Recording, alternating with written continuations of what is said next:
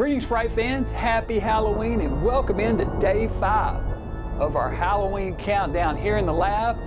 Our creepy, crawly countdown of films of things that creep and crawl. It's been a pretty fun one. Yesterday we looked at Squirm. That's right, the Worm movie from 1976, which is a pretty fun one, in my opinion. I'm gonna try to shake these up really good here, make sure it's not clumped up, and see what tonight's entry is gonna be.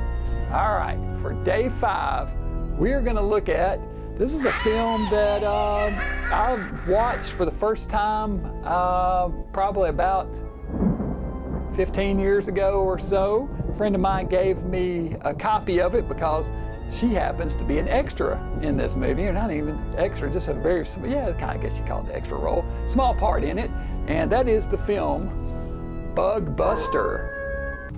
A medfly infestation forces the government to use a chemical pesticide called thiathion to eliminate the pests, against the warning of experts. Only to be potentially dangerous. Later, at a lakeside resort, a pair of lovers are attacked by a fish that bites chunks out of them.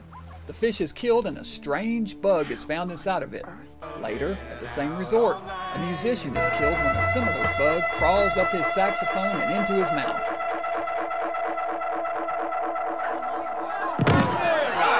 An entomologist examines the roach-like insect from the fish and finds its DNA is unlike anything he's encountered before. The fish is also pregnant and full of eggs, which hatch into bugs and worms.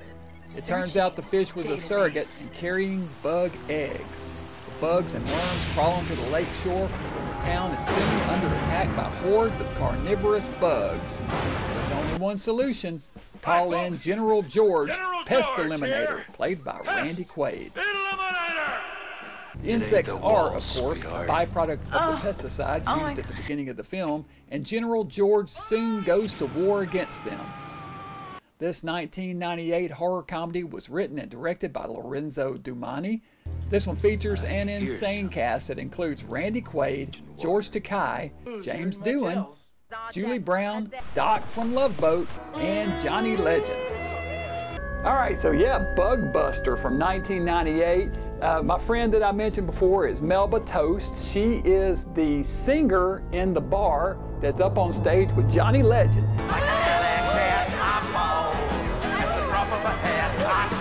Singing when they're when they're uh, in the bar there. So uh, yeah, she told me first about this when I had her on as a guest on my show. Uh, Melba lives here in Nashville, Tennessee, and she loaned me her VHS copy and I still have it. So, Melba, if you see this, I need to get that VHS back to you. I have it. I've taken good care of it. I promise I'll get it back to you. Um, of course, the film's on DVD now, so I'm sure you've upgraded by now, but I will get your VHS back to you, I promise.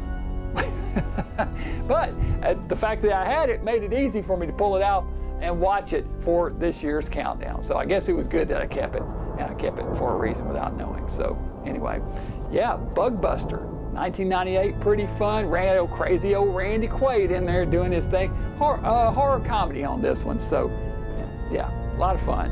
Uh, go ahead and say this is actually probably a two skull movie as far as the quality goes, but I'm going to give it three because Melba's in it. So, and Johnny Legend, which is pretty cool. So, Three Skulls, Bug Buster. Have you seen this one? Check it out. If you like some horror comedy stuff, if you like Randy Quaid doing his crazy antics, you'll probably like this one. All right, so that's it. Bug Buster's nice entry in our Creepy Crawly Countdown. Join us tomorrow night. We'll keep this thing rolling. Till then, as always, stay mad.